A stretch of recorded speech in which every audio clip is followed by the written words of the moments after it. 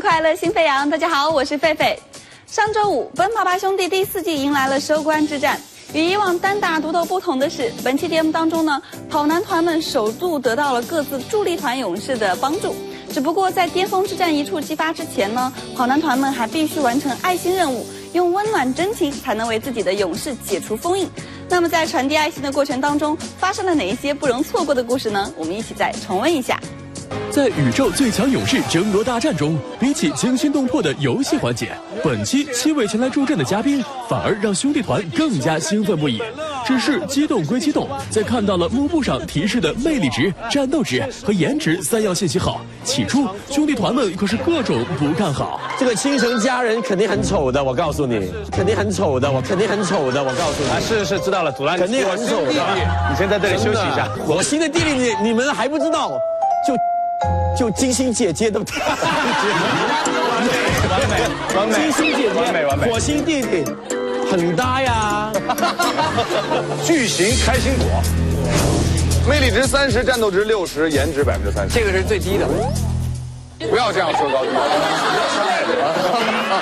但是是这样的，就是魅力值和颜值到了三十出来都是要打马赛克的。最后一个就不用看了，最后不用看了，最后就不用看了。战斗值十呀，十呀，哎，最后这个是你凑来的是吧？最后一个是哪个导演对吧？是那导演组的来了一个，但是这个跟我好搭的。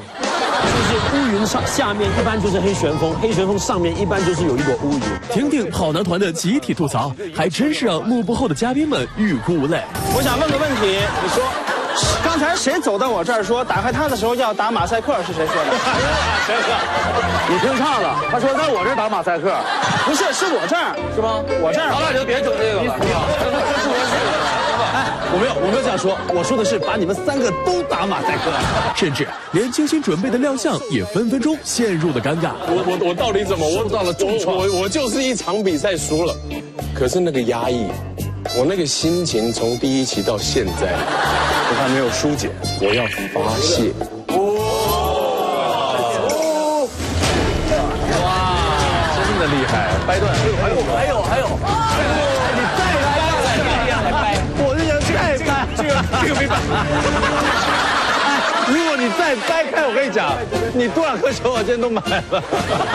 不过玩笑归玩笑，真的执行任务起来，跑男团们绝对是卯着一百二十分的劲儿。在顺利和嘉宾们结对后，跑男团第一个任务就是需要展开各自不同的暖心行动，救出岳云鹏、王子文、向佐、乔杉、张静初、华晨宇、陈建州七位被封印的助力勇士。Angelababy、陈赫、郑恺分别打扮成保洁大妈、保安大叔和摄影师，在游客面前狂飙演技。在这儿再合一个吧，咱在这儿在这儿再合一个吧。来啊啊！你一定没有发现我，因为我演的太像了。哎哎，小心点啊，大姐，甩着我了刚才。甩着你怎么着了？你甩着我了刚才。那摄影师脾气怎么那么大？不是你这拖地，你甩着我了刚才。你看我这一脚水给你给你甩的。甩你！哎，我们发生争吵，不要，我们保安来制止一下。怎么回事？你知道吗？你你怎么？不是你们这怎么回事？你这拖地就拖地，这这这几个意思？这是？没看到我在忙吗？我看你忙了，你没看我忙吗？是不？大家都是出来。但出出来工作对吧？我这没法弄了，这个。邓超和鹿晗则是空降到了内蒙古呼和浩特第一中学，为即将高考的高三学子加油打气。邓超更是用亲身经历和同学们分享他的学霸成长之路。我的学称叫做什么？学 霸要做什么呢？好好学习，对不对？对。因为还要过一个多礼拜，即将是什么时刻？你们紧张吗？不紧张。不紧张，确定吗？我觉得不紧张就对了，真的真的，因为当年我很紧张。我想说是什么？因为我。因为我自己的原因，我原来呢这个文化课没有上的那么好，就是我原来是大家知道，我是在江西艺校读的中专去的，那时候我觉得我特别自卑，我觉得我不可能考得上大学。我觉得那个门槛太高了，什么中央戏剧学院，什么北京电影学院，我觉得完全不可能。我特别惶恐，我相信我比你们惶恐一百倍。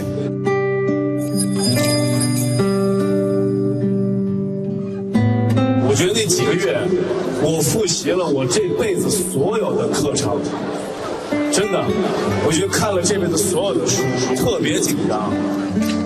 但是我还是去了，我还我还是迈出了这一步，但是我还是考上了。这发自肺腑的声音，不仅让现场数千名高三学生深受鼓舞，很多人还因此流下了激动的眼泪。随后，鹿晗的亲自献唱，更是将整个毕业典礼的气氛掀到了最高潮。世界变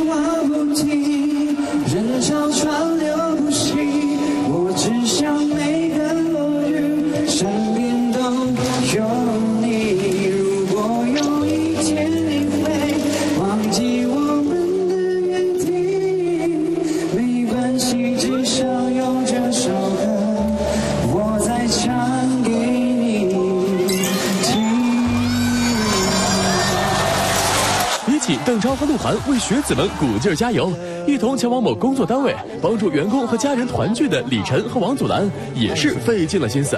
先是为了完成唱歌任务，各种施压。咱们在内蒙这个倒酒、倒茶或者敬的过程当中，都会要唱歌，对不对？李老师，我觉得你可以一边这个给我们倒酸奶，一边来一点这种。李老师哪里人啊歌曲的这种表达。我是东北人。那应该会呗。东北人也可以唱几唱个歌啊，可不可以？欢迎祖蓝，欢迎琛哥。哎，不用，这这这太随便了，一定要唱首歌，唱首歌，唱首歌。他比较背啊，送他一首歌好不好？的歌，唱一个吧，唱一个，唱一个，来来来来来。哎，工作人员鼓掌。开始，亲亲我的宝贝，我要越过高山，飞到真正彩虹，要抓住春天逝去的流星。紧接着又是一连串的体力活儿。前面再摆点那个安慕希来吧。哎，易老师，易老师，易老师来这边房间里面。海文，海文，进来，进来，海文进来。你先出去，你先。你先放着，先抱着，先抱着。嗯。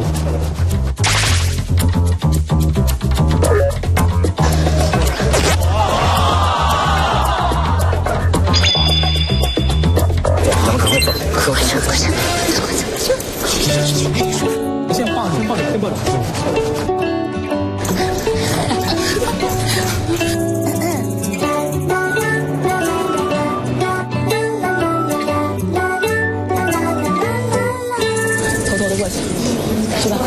那个叔叔，猫要好。我要越过高山，寻找那一等一下，再放点啊。太阳，寻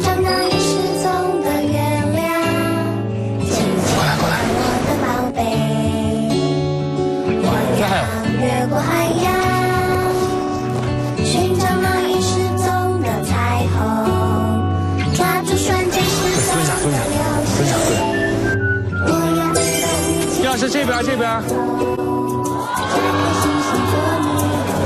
还得再多摆一些，把那几个再拿过来，再摆上，再放上面呗。对，还有三个。看似折磨人的背后，实际上是李晨和王祖蓝煞费苦心的为他们一家人制造的惊喜。好，工作很辛苦，我们有奖励。对对对对对对。易老师，易老师，易老师，易老师。要要要。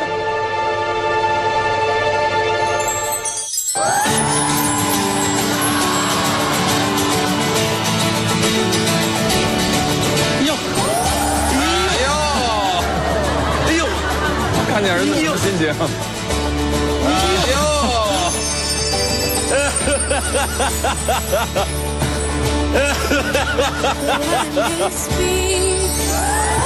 哎哎呀，哎呀，所以刚才唱的那个歌还是唱给孩子听的，心里想的还是孩子，是不是？你没有发现我们故意整你吗？没想，真没想到。就是让孩子其实看见你工作非常辛苦，有时候压力也非常大。有多久没见？呃，算下来也有四小半年了吧差不多小半年了。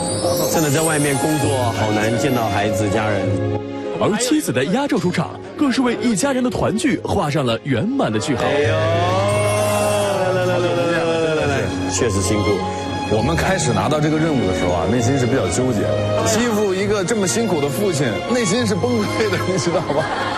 很幸娱乐农场整理报道，前一秒还在跑男团耍宝卖萌，这会儿王祖蓝又和兄弟郑恺一起演起了电影《神魔道》。虽然这次的戏份倒不怎么多，但王祖蓝还是抓紧每分每秒，愣是把一部玄幻大片拍出了跑男的味道。大户人家，有钱的，有钱的，有钱，但是啊、就是钱多，但是命短。这还不如没钱呢。哦，压力短，是吧？真的，真的，也跟我在跑男里面一样，就是很快就被 out 了，是吧？好快，out 的好快。一开始我就被四零百一样，我看到剧本之后，我发现。哦，哎，你觉得是郑恺先 out 多，还是你 out 多？我 out 完之后，郑恺才进来的，差不多。真的，一百公里，我觉得我都像在拍跑男呢。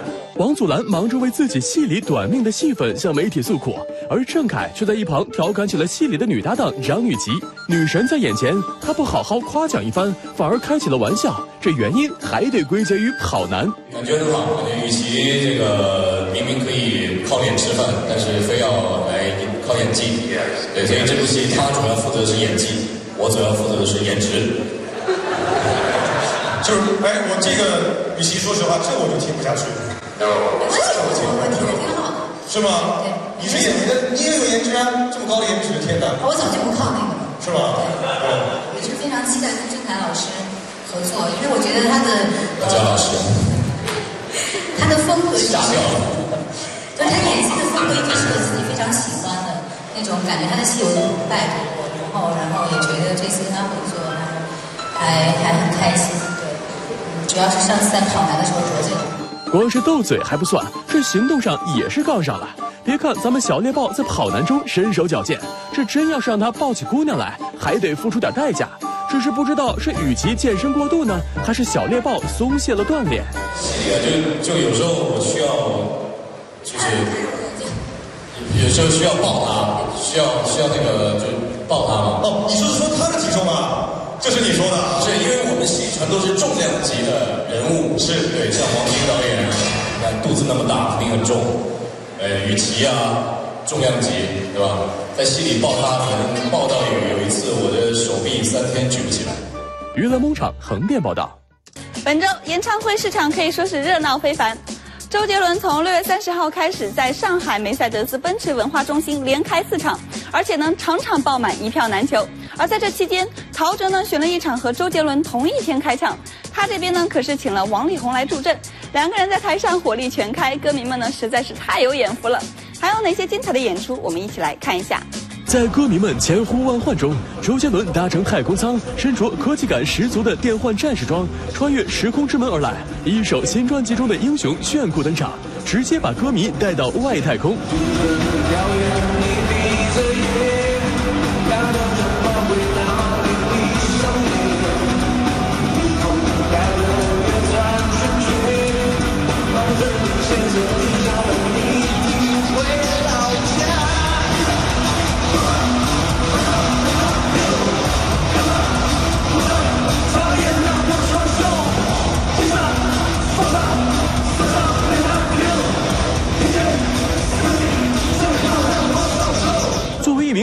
游戏玩家，周杰伦为游戏创作的歌曲可远远不止《英雄》一首，紧随其后的《无双》同样让人热血沸腾。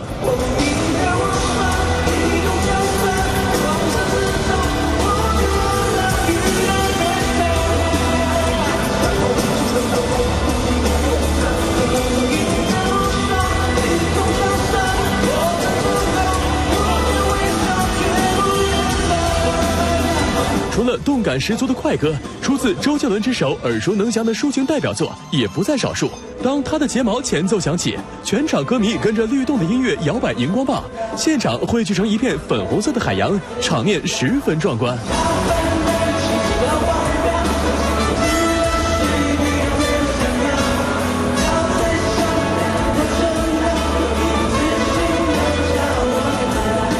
在演唱会期间，还有眼尖的观众发现，周杰伦的妈妈叶惠美和太太昆凌也来到现场，婆媳俩肩并肩坐在看台包厢，时而贴面热聊，时而为台上的周董一起鼓掌，画面十分温馨。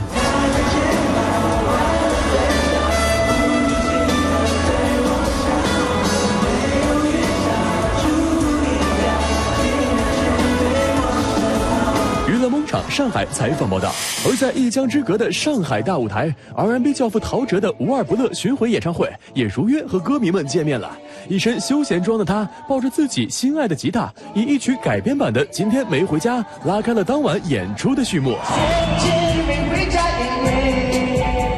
我不想回家，我不想回家呀！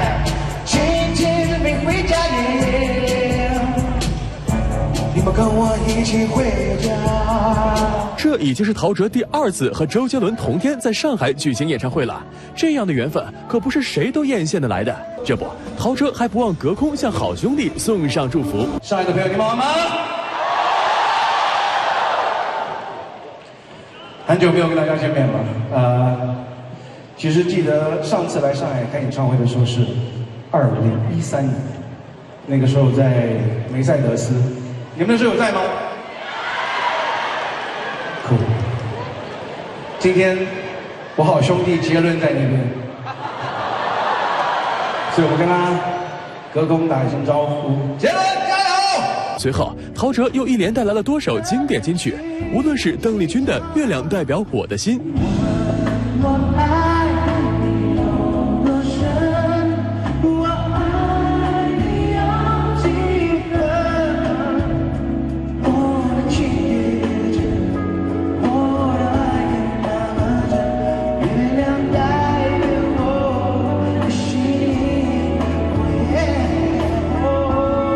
是富有浓浓戏曲唱腔的苏三说。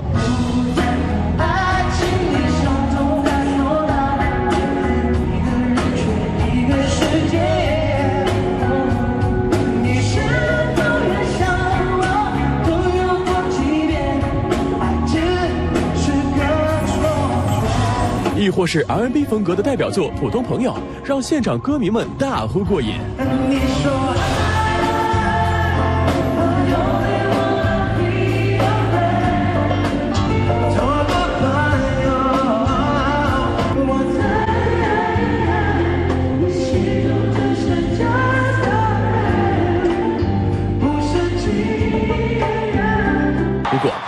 最大的惊喜还是好兄弟王力宏的倾情助阵。王力宏拉着小提琴帅气出场，和陶喆一起完美演绎《流沙》，听得台下歌迷如痴如醉。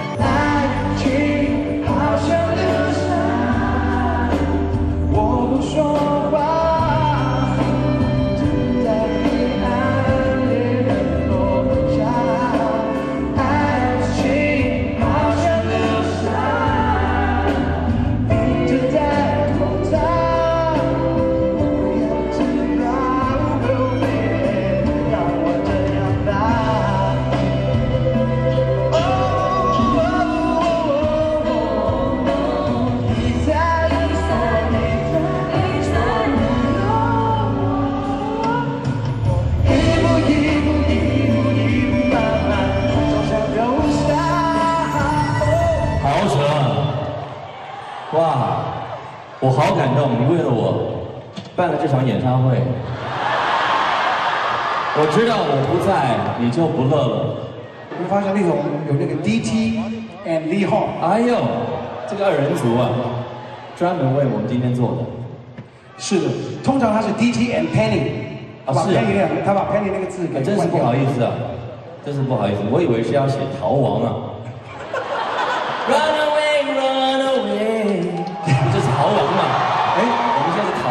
不错不错，对，逃亡二人组。既然请来了王力宏，自然不可能只有一首歌的时间。随后，两人一起合唱了十三年前共同创作的公益歌曲《手牵手》，温暖的曲风让现场歌迷一片沸腾。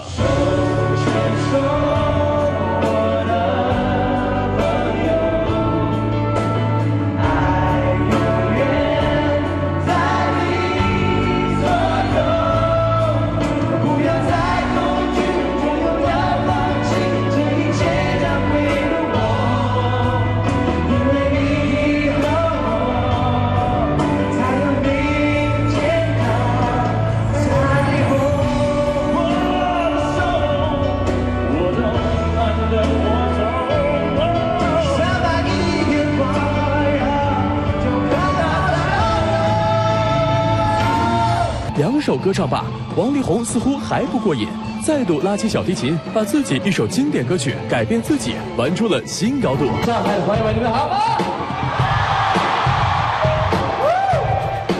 真的是我的好兄弟陶喆，这么多年的朋友，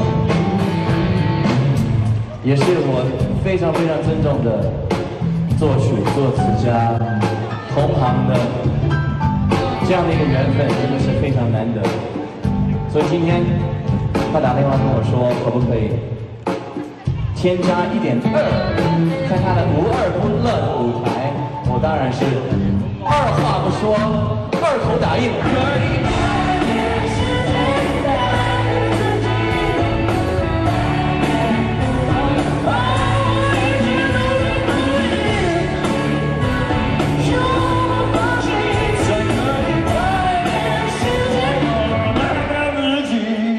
提的是，除了重量级嘉宾王力宏，当晚的演唱会上，陶喆还请来了自己的爱徒关诗敏，师徒俩合唱的一曲《爱我还是他》，将现场的氛围再一次推向了高潮。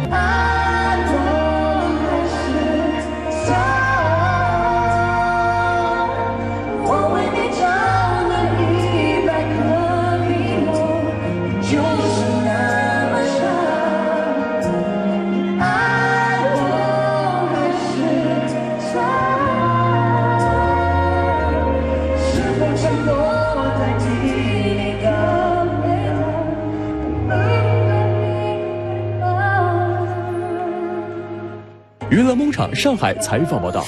而在同一天，一场名为《致青春》主题的群星拼盘演唱会在北京热闹开场。久未露面的郑秀文带来早期代表作《眉飞色舞》，有没有勾起你的青春记忆呢？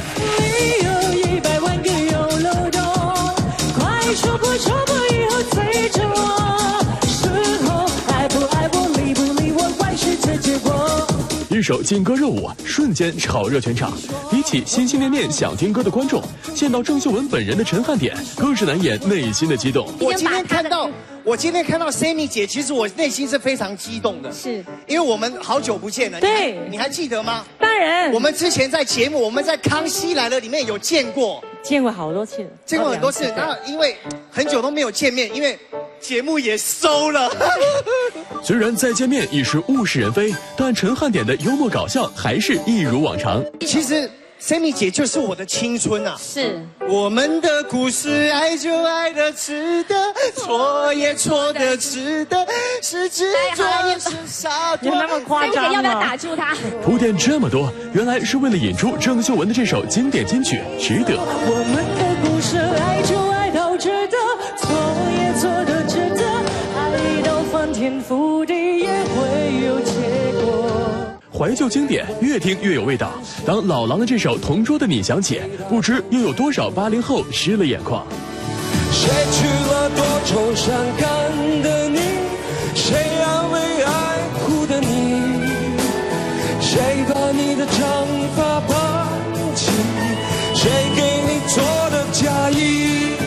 要说当天北京歌迷们最大的惊喜，莫过于兄弟本色带来的这首《五环之歌》。快点上五环，因为或许先上先赢。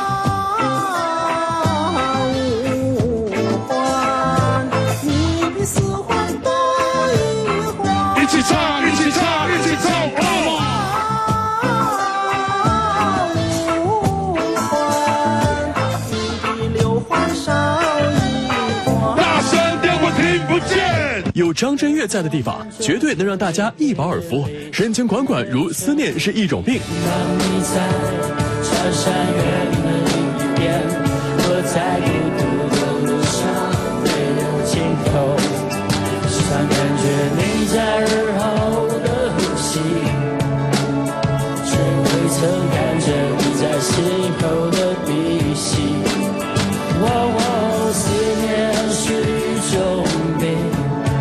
热情似火的自由彻底嗨翻现场，接下来不得了，刚都唱了一些我们比较抒情比较凶的歌，接下来这些歌，这几首歌呢，是送给大家跳舞，现在呢，北京要开派对了。哦，最最。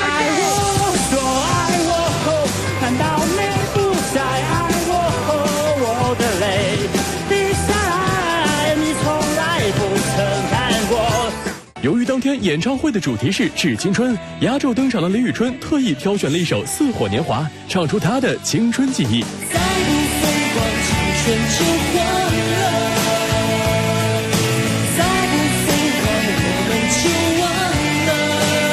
唱完老歌，还有新曲，回忆自己的青春岁月。李宇春最想感谢的，还是陪伴她一路走来的玉米们。成为平庸的想象，不按逻辑的善良，我用我喜欢的模样登场。